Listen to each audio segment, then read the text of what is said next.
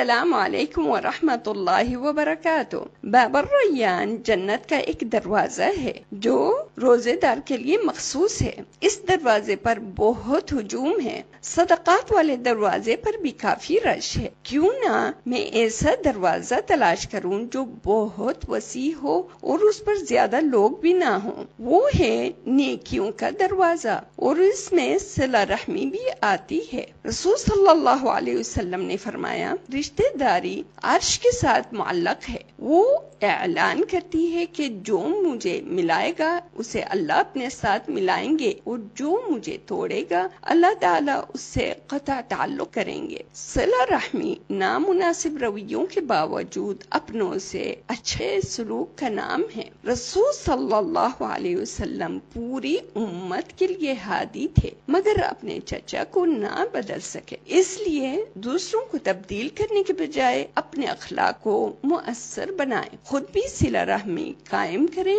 اور بچوں کو بھی قریبی رشتہ داروں کو وزٹ اور کال کی یقین دہانی کرواتے رہیں۔ رشتہ داروں کی خوشی غمی میں شرکت کی پوری کوشش کریں۔ اگر ممکن نہ ہو تو کم از کم ٹیکسٹ میسج یا پھر وائس میسج ہی کر دیں۔ اپنے عزیزوں کی آمد پر گلا شکوا کیے بغیر گرم جوشی سے ان کا استقبال کریں۔ روٹے ہوں کو منا جنت میں جگہ بنائیں۔ عزیز و قارب کی غلطیوں کو نظر انداز کرنا بھی بہت بڑی عبادت ہے۔ والدین کی زندگی میں اور بعد میں بھی ان کے رشتہ داروں کے ساتھ سلا رحمی قائم کرنا والدین کے ساتھ بہت بڑی نیکی ہے اور دونوں جہاں کی برکات کی باعث ہے۔